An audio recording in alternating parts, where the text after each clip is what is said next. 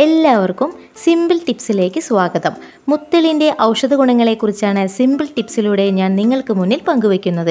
Video ഇഷ്ടമായാൽ like ചെയ്യാനും subscribe ചെയ്യാനും മറക്കല്ലേ?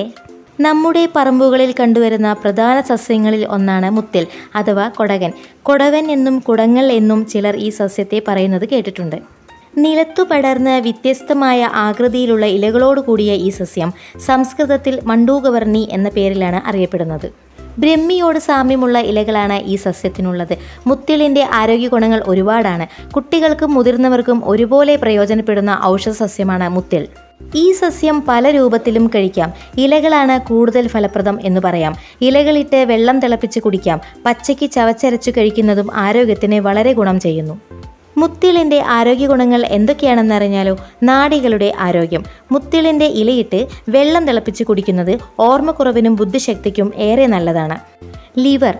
മുത്തിൽ വേരോടുകൂടി എടുത്ത് കഷായം വെച്ച് കുടിക്കുന്നത് ലിവറിലെ ടോക്സിനുകൾ അകറ്റി ലിവർ പ്രശ്നങ്ങൾ പരിഹരിക്കുന്നതിന് സഹായിക്കുന്നു. നല്ല ഉറക്കം. മുത്തിളിന്റെ ഇലയിട്ട് വെള്ളം തിളപ്പിച്ച് കുടിക്കുന്നത് നല്ല ഉറക്കത്തിന് ഉത്തമമാണ്. ചർമ്മരോഗങ്ങൾ ചർമ്മത്തിലുണ്ടാകുന്ന അസ്വസ്ഥതകൾ ചൊറിച്ചിൽ കുരുക്കൾ ഇവ പെട്ടെന്ന് മാറ്റിയെടുക്കാൻ മുത്തിൽ സഹായിക്കുന്നു. മുത്തിലിന്റെ ഇല അരച്ച് പിഴിഞ്ഞ് നീര് പുരട്ടുന്നതോ ഇലയിട്ട് എണ്ണ കാച്ചി തേക്കുകയോ ചെയ്യുന്നത് വളരെ നല്ലതാണ്. വായ്പുണ്ണ്. മുത്തിൽ അരച്ച് മോരിൽ ചേർത്ത് കുടിക്കുന്നത് വായിലെ അൾസർ മാറുവാൻ സഹായിക്കുന്നു.